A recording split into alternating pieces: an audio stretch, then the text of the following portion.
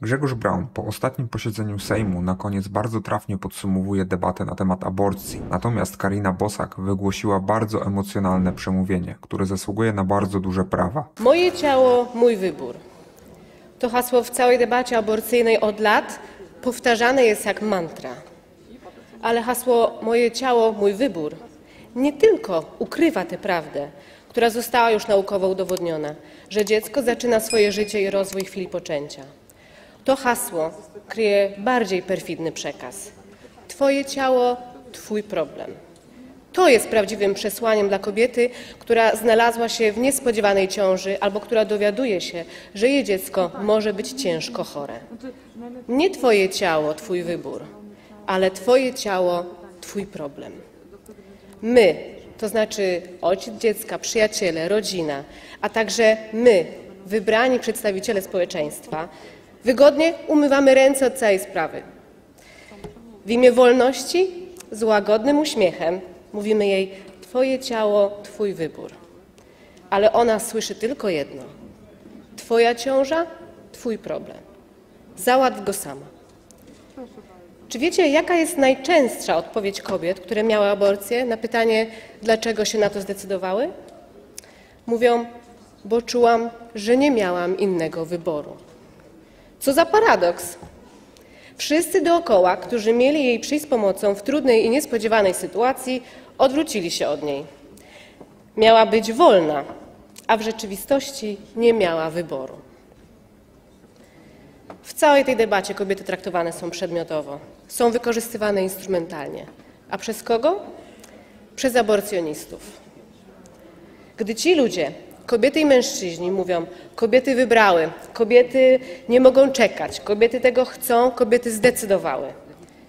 Traktują je instrumentalnie i pomijają wszystkie te kobiety, które wcale tego nie chcą, które wcale tego nie wybrały i które wcale o tym nie zdecydowały.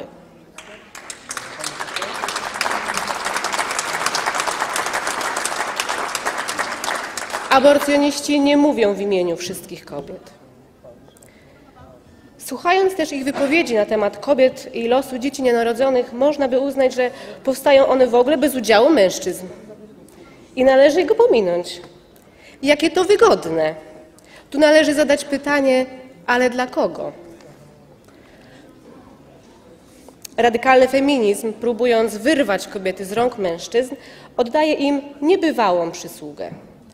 Popieranie aborcji przez mężczyzn to dla nich doskonałe rozwiązanie, pozbawione wad, bo pozwala zdjąć z nich 100% obowiązku i 100% odpowiedzialności.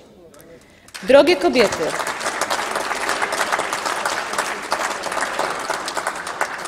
drogie kobiety, to nie oni będą chodzić do kliniki aborcyjnej. To nie oni będą żyć w poczuciu winy i z wyrzutami sumienia. To nie oni będą czuć ból i krwawić, ponosząc wszelkie ryzyka medyczne związane z procedurą aborcyjną. Ich fałszywy heroizm i wygodnictwo nie byłoby jednak możliwe, gdyby nie wsparcie ruchu aborcyjnego, który rośnie w siłę od dekad.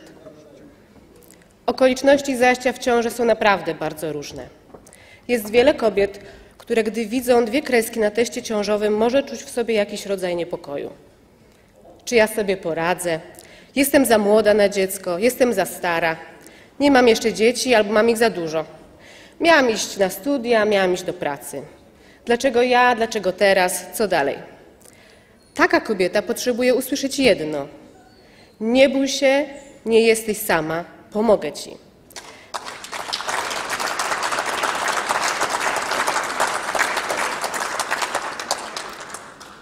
Zamiast Twoje ciało, Twój wybór, zasługuje usłyszeć nasze dziecko, nasza odpowiedzialność.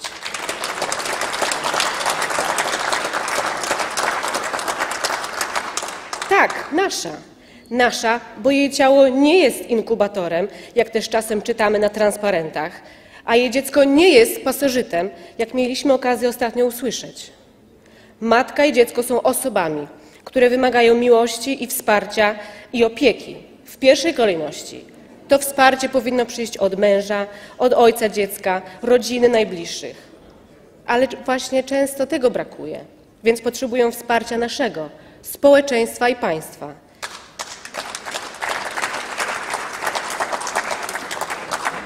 Jesteśmy po to, żeby usuwać jej lęk, a nie jej dziecko.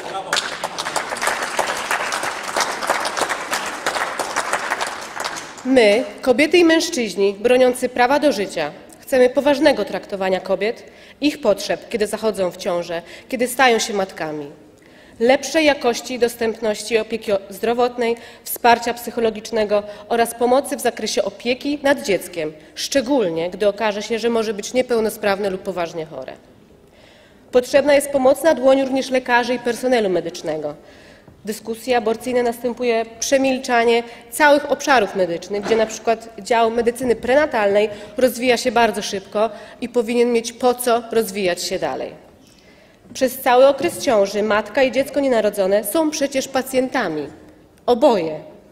Nienarodzone dziecko jest także podmiotem praw pacjenta. Pacjentem, którego zamiast leczyć, lekarze będą mogli bądź będą zmuszani w świetle proponowanego prawa zabijać, bo jest niechciane albo tylko dlatego, że żyje.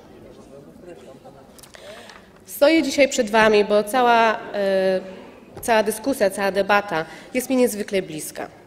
Jako matka trójki małych dzieci, jako kobieta, która weszła do Sejmu parę dni przed porodem i która w tej izbie, przy Was, karmiła noworodka. Wiem, jakie to jest poświęcenie być matką.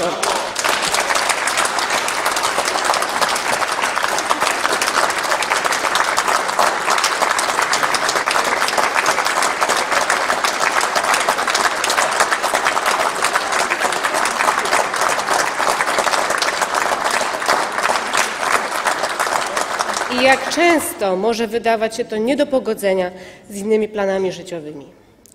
Stoję przed Wami z marzeniem dla mojej córki. Marzę, by wyrastała w takiej Polsce, gdzie w trudnej sytuacji doświadczy wsparcia i pomocy.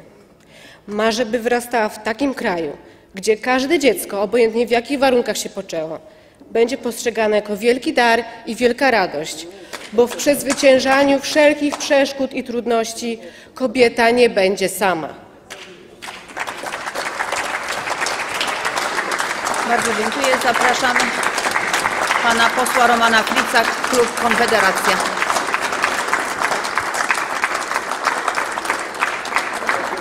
Został pan, panie pośle, zapowiedziany. Zapraszam raz jeszcze.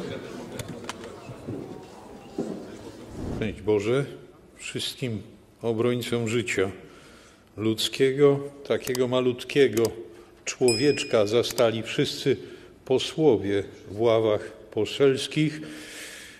I ja bardzo dziękuję w trybie oświadczenia poselskiego tym, którzy w ostatnich godzinach, dniach wespół w zespół i tu w Sejmie, i tam przy ulicy Wiejskiej walczyli o bezpieczeństwo życia ludzkiego w Rzeczypospolitej Polskiej, o prawną gwarancję bezpieczeństwa przeciwko projektom legalizacji dzieciobójstwa. Bardzo dziękuję wszystkim, którzy rozumieją, że sprawa bezpieczeństwa życia ludzkiego nie jest ci to jedna z kwestii, jak to lubią mówić publicyści i, i politycy asekuranci, kwestii obyczajowych, światopoglądowych, w domyśle uznaniowych. To jest kwestia należąca do sfery bezpieczeństwa narodowego, bezpieczeństwa państwa. Jeśli mały człowiek, mały Polak nie jest bezpieczny, w konsekwencji nikt nie jest bezpieczny, a każdą grupę można dowolnie werdyktem demokratycznym nominować do grona wykluczonych, do grona wyjętych spod prawa. Nie dopuśćmy do tego, żeby mali Polacy zostali wyjęci spod prawa. Dziękuję bardzo, panie marszałku. Jeśli mogę jeszcze jedno zdanie, czego nam tu zabrakło w tych dniach, mnie osobiście, przedstawicielowi władzy świeckiej. Jedna 460. część najwyższej władzy ustawodawczej w Rzeczpospolitej, mnie bardzo zabrakło głosu władzy duchownej.